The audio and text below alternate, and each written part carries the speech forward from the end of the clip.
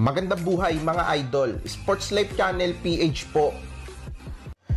Eto na ang mainit na balita mula sa mundo ng PBA. Coach Yeng Yao nag-resign na bilang head coach ng NLEX. Saan kayang kupunan mapupunta si Coach Yeng?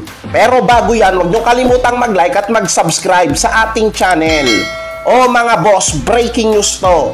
Coach Yeng Yao, tinapos na ang karera niya bilang head coach ng NLEX. Yan eh matapos siyang hindi pumirma ng kontrata sa Road Warriors. Hindi pa malinaw kung ano ang dahilan ni Coach Yeng sa paglisan niya sa kupunan ng NLEX.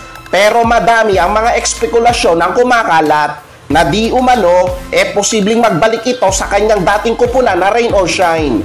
O kaya naman eh humawak ng mas mabigat na kupunan sa liga na isa sa mga kupunan ng SMC team sa PBA. O abangan natin mga ka-SLC kung saang bagong kupunan sa liga malilipat ang legendary coach sa PBA na si Coach Yeng Yao. O yan ang breaking news natin ngayon. Kung nagustuhan nyo ang aking video, huwag nyong kalimutang mag-like at mag-subscribe. Hanggang sa susunod na sport news.